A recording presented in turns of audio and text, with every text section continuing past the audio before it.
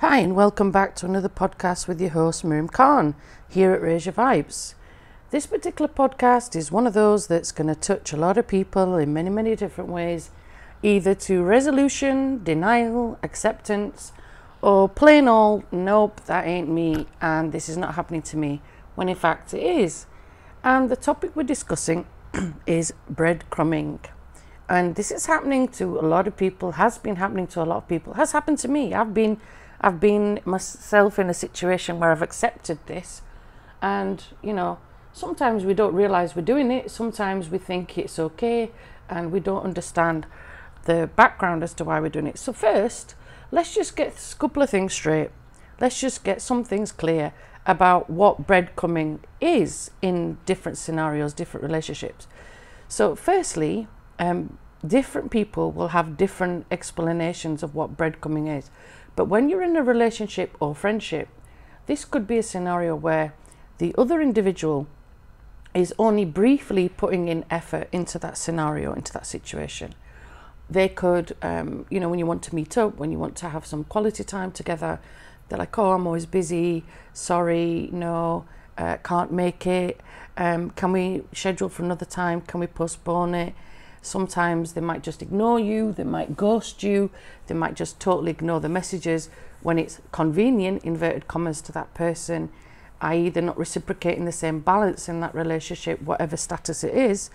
They then come forward and are with you for whatever purpose that might be, you know, that suits their particular needs. But in in a relationship status, because that's what we're talking about, not just friendship status, in a relationship status, sometimes what we do and what we don't realize is that certain people are not really invested in us as much as we think we are, you know, and we keep pouring and pouring and pouring and pouring our love, devotion, respect, time, admiration, almost like you're back in like high school and you're putting this person on a pedestal. And clearly, very clearly, they're not interested in you. And you're still accepting what we call breadcrumbs. You're accepting the tiny little interaction that they're willing to give. And then you're like heartbroken that they're not interacting with you on a scale that you are, you know? And you're under you're trying to understand why.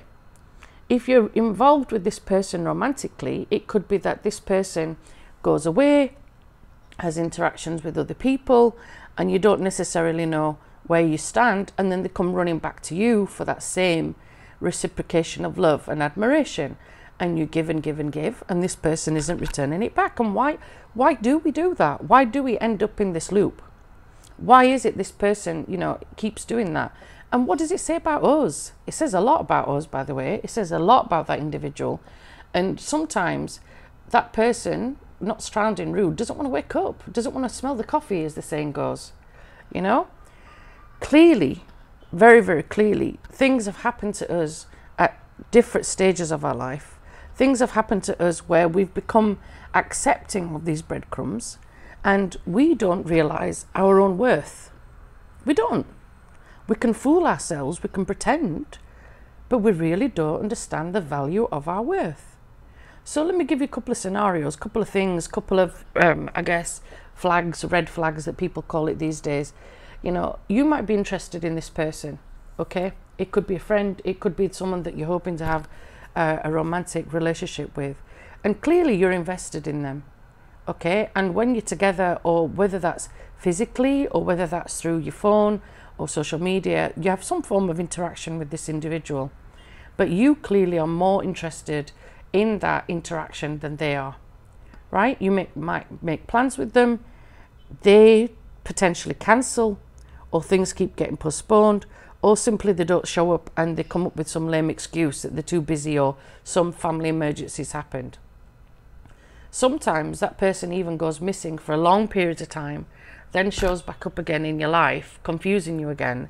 And again, this is breadcrumbs, you know, but we don't realize that this is not a real relationship. A relationship uh, requires balance between two people, an equal balance.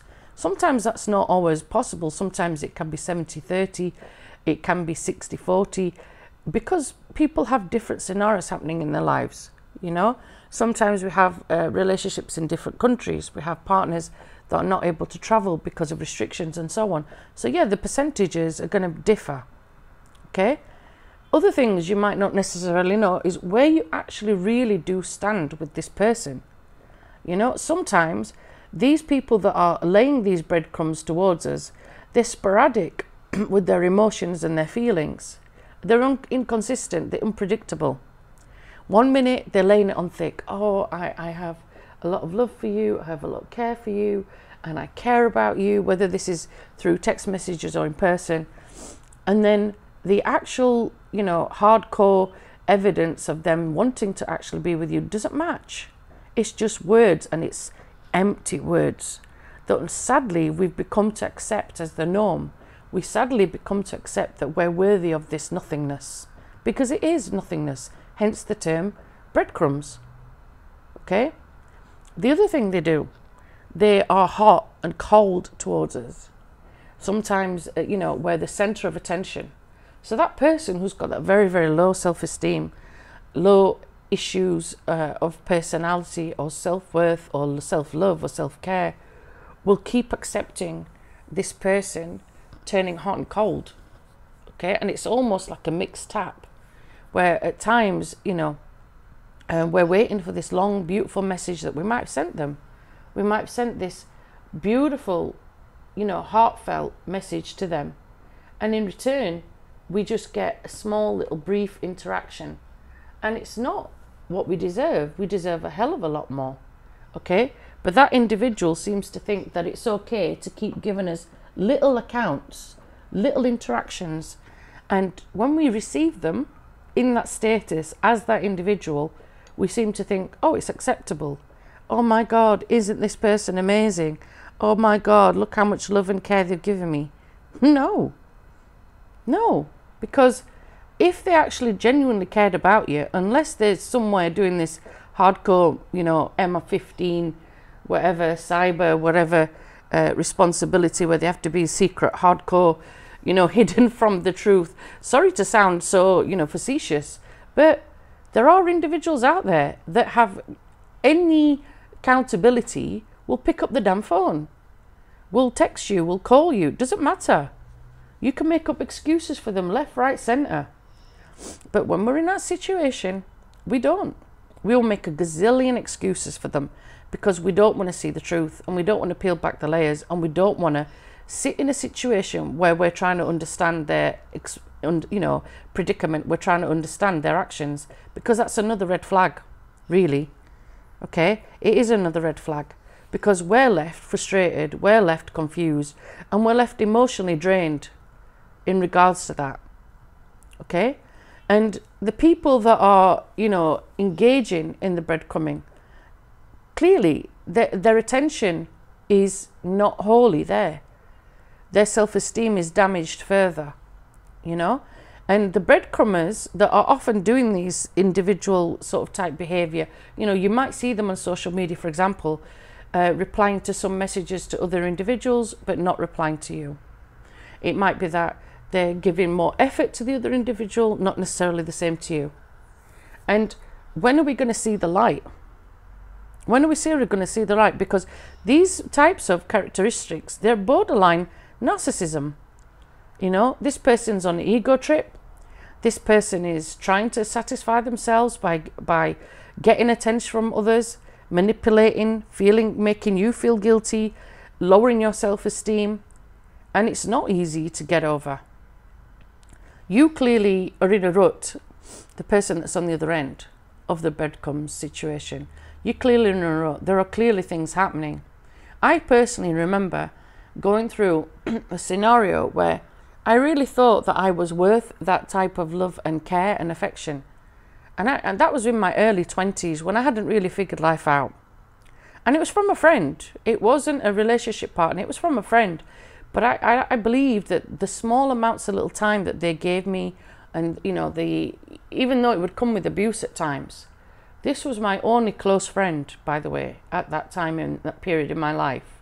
So I had become used to that this is normal, right? That this type of behavior is normal, because I'd come from a different family ethic, And it was very similar, that type of relationship status. So I'd gone from one to another. So for me, normality was that, was getting breadcrumbs. And it took me years and years, and I mean years of hard work on myself, of understanding boundaries, understanding self love, understanding self worth, to realize that actually that isn't acceptable. Actually, I'm worthy of time and I'm worthy of a peace and I'm worthy of you responding to my text messages or phone call, or actually seeing me in person.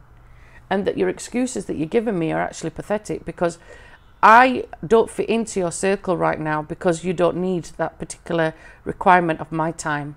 And you, you don't need my energy or whatever it was that that individual needed from me at that time. And it's only when I worked on my self image, and I don't mean putting laser makeup on, clothes on. No, I mean self image within, self love within, self care within, putting boundaries in within myself. And like I told you, it took me years, and I mean years to master that, you know. And um, even later on in life, there'll be some people that'll come and trip you up and still try to do little breadcrumbs. And there are times when you just try to nip it in the bud. And there's times when you will say, I'm worthy of more, actually. I'm worthy of a lot, lot more, you know? And sometimes we don't realize that we are accepting breadcrumbs because we don't feel worthy of that love. We don't have it in ourselves. So when we don't have it in ourselves, our belief system and our thought system becomes, you know, very, very different. And we become mixed up in reality and what is actually happening in the social world. Because quite a lot of these interactions are through the social context, not face to face. And sometimes with face to face ones, they're far worse because you, you feel awkward, you feel, you know, society sort of pressure that you're the one with the issues, you're the one that's doing this, you're the one that's, um, you know, got issues, when clearly you haven't. But you've got that societal pressure because that person ropes you into feeling guilt, you know? Initially, you've had some love bombing. Initially, you might have had some trauma dumping. You might have had ghosting happening with this individual, many, many things. And the breadcrumbing is just like the top of it. You know, it can be very, very malevolent. It can be benevolent. It can be really crude and really rude. And it can also be painful, very painful. And coming out of it going into it, we don't realize we've been manipulated and we don't realize that what we're accepting is far less than what we are actually worth. And that's the bit that's concerning to me is that I'm seeing individuals that I know and that I love and cherish accepting breadcrumbs. And no matter how many times you will have a conversation with them, and no matter how many times you counsel and offer friendly advice, they're doing the same scenario over and over again. And you know, they're accepting the breadcrumbs, they're accepting um, that reinforcement of this self love, what they deem as self love, when it's not. It's selfless love. Because they're not loving themselves. If they did, they'd walk away from that relationship, whatever status it was. And, you know, they, they don't realize that they're going through a number of feelings because breadcrumbing has a big impact on individuals. Let me give you a couple of experiences. You could be feeling confused. You could be feeling anger you might be doubting yourself, therefore going through self doubt. Some people will go through different ranges of anxiety, all types. You'll be clearly feeling sadness and loneliness. You might be feeling inadequate, especially if you see them socially interacting with others or having some form of friendship with others. Remember, we're in a world of 2024 where social media is just everywhere. It doesn't take much for us to stalk, inverted commas, stalk, online that other person and what they're doing when they're not with us. Okay? You might be feeling embarrassed, embarrassed that you allowed them to be in their life, or embarrassed that you've spoken up and said, hey, how come you're not interacting like that with me? You might feel hope or lack of hope. You might feel this self consciousness. You know, there's so many different aspects to this. And the thing is that there's many, many people that are successful. Say it again. There are many people out there who are susceptible to breadcrumbing. As I said, I was one of them. I, I put my hands up, I was one of them. And even in adulthood, there are times when we're still accepting breadcrumbing in our relationships We don't visually see it like that, but it clearly is. Okay? So there's different types of individuals that will have, um, you know, I guess, are more inclin- inclined to accept it. There are going to be people with childhood trauma, hands up here. There's going to be people that have um, never received inconsistent or consistent attention from their parents, caregivers, or from their partners, and they've become to accept that again as normality. Okay? You might have somebody having different um, substance abuse or different addictive uh, patterns of behavior. You might have someone that's got an addictive personality. They're a bit of a Casanova, or they think they're a bit of a stud muffin, as we say in the UK. but clearly they're not, you know? And again, we come to used to that. There might be people with very low self esteem. I touched upon that earlier. Big time. Big time. Low self esteem. You might have someone with mental health issues. You might have someone suffering with depression, anxiety, eating disorders. The list goes on because right now, clinically, there are so many different diagnoses out there. And it leaves people vulnerable. It leaves people emotionally vulnerable. And it means they're easy to manipulate as well, especially if they're a narcissistic person that sadly they've attracted. You know? Now, with breadcrumbing, there's different types of things that happen while you're in that scenario, the, your emotions are going to be very scrambled. They are. Your emotions are going to be all over the place. And, you know, you become in different cycles, you come through different types of levels of frustration, and it does leave you confused. And it does leave you anxious, and you are trying to understand it. Hence, when I've had friends talk to me about these scenarios, and I'm guilty of this myself, you're trying to think out loud as what the hell is going on and you don't necessarily understand that this person's breadcrumbing you. You know, there's lots and lots of different red flags as we talked about earlier. And sometimes that person will be giving you different types of red flags from one extreme to another. It can be that they, they talk to you for hours and hours and hours, communicate with you maybe on a social media aspect, maybe on a phone call, video call, whatever, or face to face. Then they just completely blank you out the blue. And they might be giving you lots of flattery and then going silent and clearly giving that attention to someone else you know? And that type of thing is not acceptable. That's when you re- realize this person is doing the breadcrumbs. But like i said some of us are so stuck deep into that that sort of like loop that we don't want to see it and we don't accept that this person is hurting us emotionally psychology you know um, emotionally, definitely, and they they help you know not helping us in our uh, trauma, I guess, and not helping us in our own mental health state. They're not helping us in regards to, you know, going forward, because these people are not honest with their intentions. They make plans about the future, but they're actually not sincere. Okay, their actions are not matching up their words the things that they're saying to you, they've said probably to many, many other people, more than likely. Okay? And it's not easy to sit back, detach, and understand that breadcrumbing is happening to me. And it's us that have to make that change, the victim.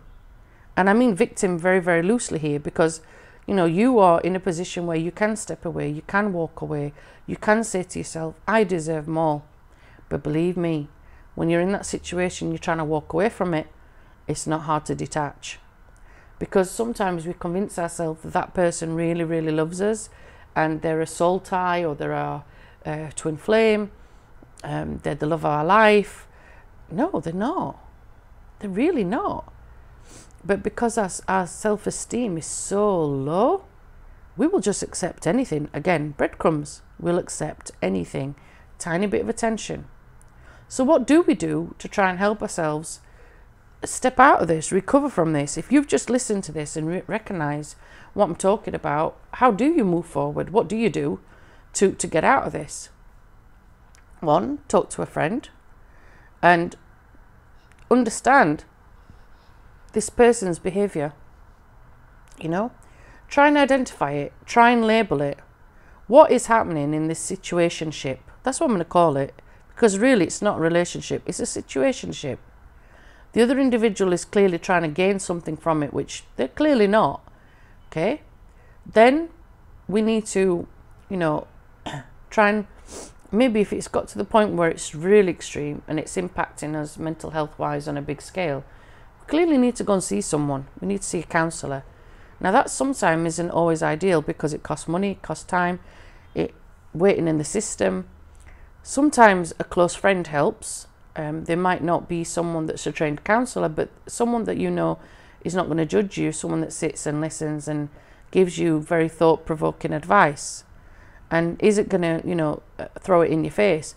But be understanding, it can be very frustrating for that person when you keep taking that individual back, even though they've said to you many, many times, this person isn't good for you and they're not the right person for you. Many, many people these days do other things as well. They, they try and think about their feelings, and if they can't find a counsellor and they can't find someone of a mental health uh, status because of various things I've just discussed, sometimes journaling is, is a brilliant way to help you write down your thoughts, feelings, write down actions. Some people even give the journal to the other individual. Now, there's, there's pros and cons to that. There's nothing stopping that person from just putting the, that in the bin, dismissing it. They could just totally ignore it. They could totally dismiss it. They could totally just blank it out. That would be a big, big, big red flag right there if someone doesn't want to address those situations. Okay? Sometimes, if that person is genuine, they care about the relationship, they might actually read it and take on board what you've said. But if they mock you, if they criticize you, if they blame it on you, that is not the relationship you think it is, clearly. And again, don't um, deceive yourself thinking that that's the situation, you know. You can always con- confront them, which is what the journal task, I guess, does. And that again is you having that heartfelt, deep conversation. And again, this under, other individual doesn't always want to hear it. They don't. They don't want to hear it. They don't want to listen to it. They might be blind to it. Okay. And, you know, that person might not always alter their behavior. They might not want to hear it. Their actions become more resentful, actually. They become more hurtful. If it's a genuine, genuine, caring, loving relationship, that person will listen to you. That person will sit, listen to what you've said, take on board what you've said, make the necessary changes together, not alone, together, because you might also need to change things about you to go forward. And clearly, if that's not happening, you have to end things. Now, when you end in that relationship, it's not nice because you realize you've been manipulated, you realize you've been rejected, you realize that this is not the person you thought they were. You end up being embarrassed, which starts another cycle of mental abuse to yourself, mental torture to yourself. And you have to understand that ending this is better for you in the long run. Don't feel like it at the time, I know. Doesn't. But it's the right thing to do because that friendship, that relationship is not an equal, balanced relationship. It's one where that person is not invested in you at all. Okay? And you have to think about why is this person doing this to me in the first place? You know? People do it because some individuals, not all, some individuals have various aspects of narcissistic behavior. We've discussed narcissism in a couple of my podcasts, so I'm not going to take up this whole podcast discussing it. But they have, they've got that narcissistic, controlling, manipulative behavior where they seek attention for themselves to boost their ego, to boost their pride, all the while draining you. Let that sink in. Some individuals might be just not fully able to have that pure love, care, balanced, um, attached style relationship. In fact, they've got the opposite. They've got the insecure attachment style. They've got the avoidance style of relationship. So hence they do the breadcrumbing, hook you, right? And then as soon as they've got you, now nah, on to the next one. Bored now. What's the next challenge? And I'm genuinely saying that's how it is because it is. We don't see that when we're the victim, inverted commas, of that scenario. We don't realize that our low self esteem, our very low self esteem, is getting us hooked to that. And it becomes addictive. It does. It becomes addictive to be used to low breadcrumb style attention. We're worth a hell of a hell of a lot more. Hell of a lot more. And we need to wake up and see that. You know? And some individuals will not. They'll keep continuing to do the breadcrumbing to others. You know, they'll repeatedly keep doing the same pattern of behavior. It's us as individuals that have to wake up.